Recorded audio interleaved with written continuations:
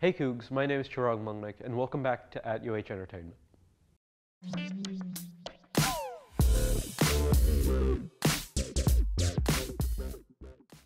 The Houston Livestock Show and Rodeo just began on February 27th.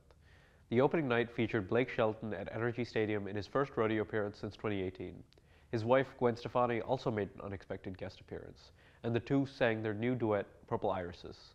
The event will be held for 20 days until the rodeo finally ends on March 17th, with singer Eric Church closing out the festivities. Other performances slated for the event include 50 Cent, Major Lazer, Bun B, and the Jonas Brothers. Tickets are still available, so be sure to check out the event if you're interested. A shocking new documentary entitled Where is Wendy Williams chronicles Williams' life since the wrapping of her show.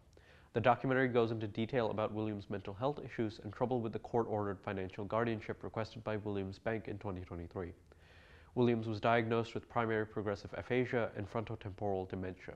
Her struggle with these diseases are documented in the film and have garnered some controversy, with Variety criticizing the show as, quote, unnecessary and exploitative, end quote. The latest AP men's college basketball poll places the University of Houston in the first place. The Cougars beat Iowa State 73 to 65, and they beat Baylor 82 to 76 to unseat the number one team at the time, the University of Connecticut. The University of Houston also leads in the NET and KenPom's rankings, so there's a lot riding on the Coogs this semester. The next game takes place this Saturday on March 2nd against the Oklahoma Sooners. We at Coog TV wish them all the very best for their upcoming away game. This year's South by Southwest festivals will begin on March 8th and will last through to March 16th. This year there's slated to be 115 feature films premiering at the event. Headlining the film festival are movies such as Alex Garland's Civil War, Pamela Adlon's Babes, Kyle Mooney's Y2K, and Dev Patel's Monkey Man. Last year, the attendance for the film festival exceeded 16,000 people and this year's event looks like it may have even more attendees. The festival will take place in Austin over spring break.